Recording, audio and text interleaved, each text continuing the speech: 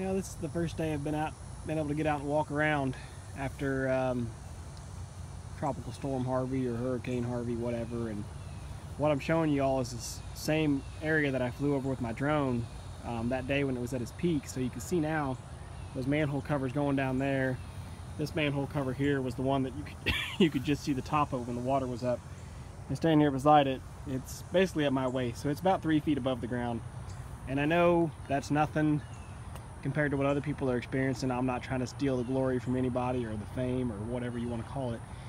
Um, just sharing my story so y'all can see now why it swells up through here the way it does though. I was mentioning in the video, uh, mentioned in the comments of the first video that this was this is at the confluence of two bayous and these two bayous neither one of them has a whole lot of upstream drainage which is what spared us because pretty much the, the water comes up fast um, when the rain's falling hard and just as soon as the rain cuts off it drains off pretty quick. Um, areas south of here where the drainage is still going are still suffering um, all of town center kingwood everybody down along the lake and san jacinto river of course they're still uh, way underwater um, because all this water is going to them so just kind of wanted to explain this because you know I didn't say couldn't really say much in the drone video. Well couldn't really say anything except the description. But that bayou coming in over there I can't remember what name it is but um, that one and this one here they both come together right here at this corner and then they both drain on down south. Which this all goes on down through the trees and comes up behind goes along behind my house and all the other houses through here. So like I said where I'm walking now um, was waist deep. Every bit of waist deep. And it was only that high for when I shot that drone footage that was the highest it got. So we got you know really lucky really blessed. Um, you know my heart goes out to the people that are still suffering south of here. Um, but like I said just wanted to follow up and, and, kind of explain to you guys in better detail.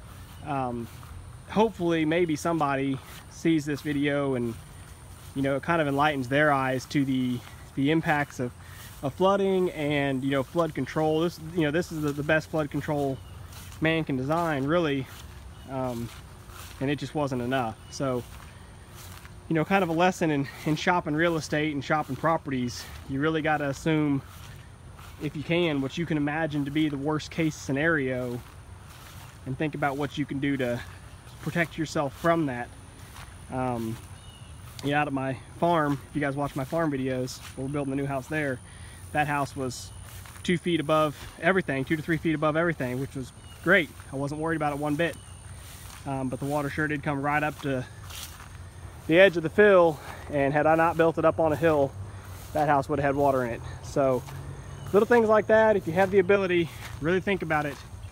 It's so sad to see the devastation, and it's so sad that so much of Houston is impacted, and it's just one of those things that not really anywhere else to build. So you know, do the best you can, but try to spare yourself from any natural disaster if you can as well when you're shopping for properties or building a property. So that's it. Little little rant there. But hopefully it helps somebody or somebody learn something.